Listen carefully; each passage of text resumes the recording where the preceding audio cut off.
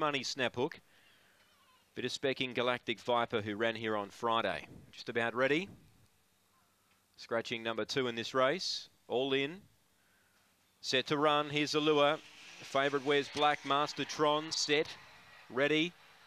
Racing, good line, it's very even. Galactic Viper trying to burst through out wide. Mastertron goes with him though, and Mastertron takes the lead from Galactic Viper, second a length and a half away. Good Yarn third, Lion Rose fourth, a gap to Markling, Snap Hook, last Elkhorn Potts. Mastertron clear though, four lengths on Galactic Viper, then the inside Lion Rose, but Mastertron, two wins in SA since arriving here, too good.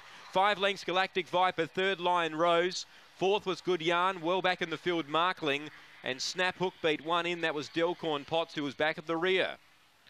Master Tron, he loves racing here at Mount Gambier. Two from two now. Heavily back last week. This week, uh, 430 the price. No money around for him, but he's got the job done. Ralph Patzel. Galactic Viper was nearly over, and then out wide Master Tron swept up and took the lead. Raced away down the back. He's got uh, some good form to recommend him. He's got the money here, Master Tron from Galactic Viper. And Lion Rose gets third. Eight gets fourth.